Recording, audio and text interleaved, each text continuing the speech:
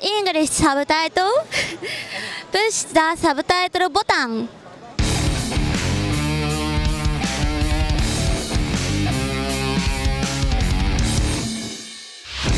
Hallo zu einer neuen Reptil-TV-Folge. Mein Intro-Tierchen, ein hübscher Blauzungenskink, ähm, in dem Fall sogar ein australischer Teliqua multifasciata. Er kommt in Zentralaustralien vor, also unter den Blauzungen noch echt eine Rarität. Guck mal, zingelt da ganz, ganz hübsch.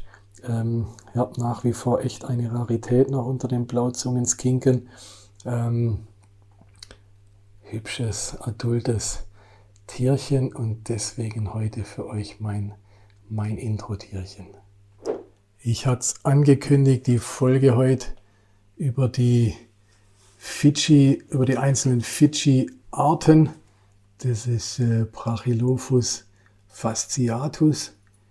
Fasciatus ist ja die Übersetzung für gestreift eigentlich, ne? Fasciatus, also gestreifter Tonga-Leguan wird man vielleicht als Deutsch bezeichnen.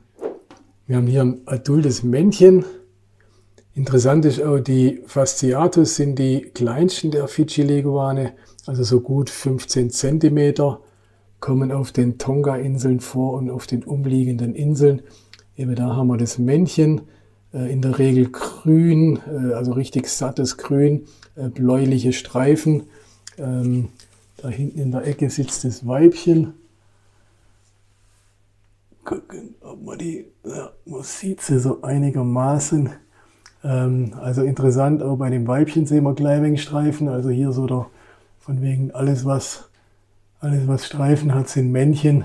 Äh, das passt auch nicht immer, hatte ich vorher in der letzten Folge schon mal angesprochen. Ähm, ja, das sind die, wie gesagt, die kleinsten Fidschi-Leguane, äh, Brachylophus fasciatus. Hier haben wir jetzt den klassischen Fidschi-Leguan, das ist der Brachylophus bula bula. Ähm, kleine Anekdote noch, bula bula heißt äh, in der Einheimischen, also bula heißt Hallo auf Fidschi, ne? und bula bula ist so Hallo, Hallo. Ähm, wahrscheinlich, weil sie sich so gefreut haben, Hallo, was kommt denn da für ein hübsches Tier oder so in der Art. Ähm, also da wissen wir jetzt sogar, was bula bula heißt.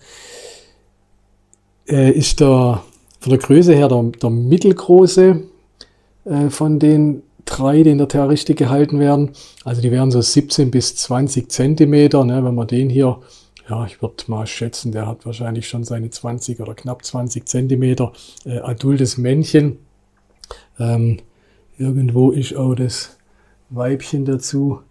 Ach ja, die sitzt da auf einem Ast dahinter. Mal gucken, ob ich das Weibchen auch noch drauf kriege. Ähm, eben sehen auch wieder schön dieser Farbunterschied.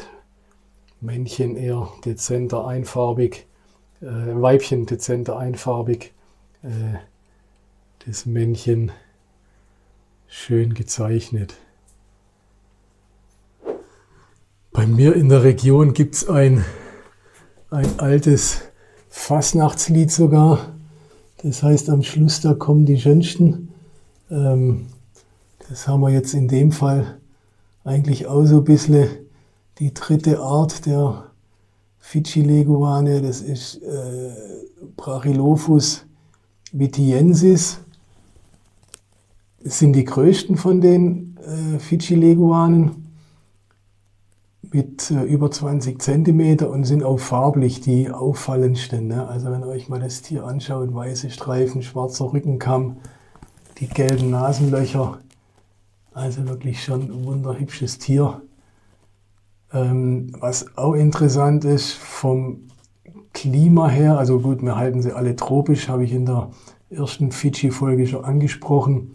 Ähm, die halten wir hier natürlich auch tropisch, wobei die weniger oder die kommen bis an die bis an die Strände eigentlich vor. Ne? Das ist Tiere, die nicht irgendwo mitten im Regenwald leben, sondern wirklich bis, also wenn ihr mal auf den Fidschi-Inseln Urlaub macht und am Strand liegt und äh, nach hinten guckt, vielleicht habt ihr Glück und seht so ein äh, Vitiensis ähm, ist tatsächlich so, dass die bis an die Randgebiete vorkommen. Hier unten sitzt, by the way, das Weibchen. Die habe ich hier nicht immer richtig gesehen. Eigentlich auch toll, wie, wie brav die sitzen bleiben. Ne? Also ich filme die ganze Zeit über der ihren Kopf weg und die sitzt trotzdem noch da. Äh, auch schön, auch das Weibchen hat echt deutlich Zeichnung. Ne? Also weiß nicht, als, als Laie würde man da schon vielleicht denken, ach guck, das ist ein Männchen mit dieser hübschen Zeichnung. Nein, das ist kein Männchen, das ist ein Weibchen.